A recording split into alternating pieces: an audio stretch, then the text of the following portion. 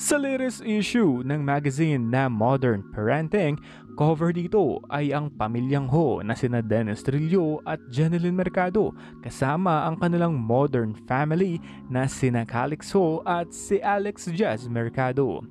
Alam naman natin na lumaki itong si AJ o Alex Jazz Mercado sa poder ni Jeneline dahil nandyan na rin at katuwang na niya sa buhay itong asawa nito na si Dennis Trillo. Ngunit ano kaya ang adjustment ng dalawang ito dahil hindi rin biro ang pinagdaanan nilang dalawa dito sa pamilyang ito. Dito naman sa latest video clip na binahagi ng magazine na ito eh kitang kita mo na inaayos ni Dennis Trillo ang buhok ni AJ na kung saan eh ang cute lamang dahil parang mag-ama nga talaga ang turingan talaga nila sa isa't isa. Nakaka-good vibes lamang kapag may nakikita tayong mga bonding moments ng mag-amang ito dahil alam naman natin na hindi rin talaga madali ang ganitong sitwasyon nila.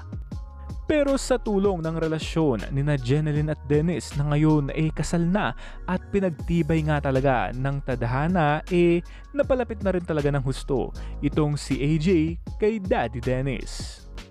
Naging mature na rin naman kasi itong si Dennis Trillo pagdating sa salitang pamilya.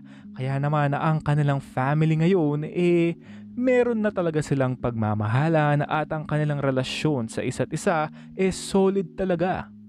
Boxing at biking ang hilig gawin ni Dennis at ni AJ.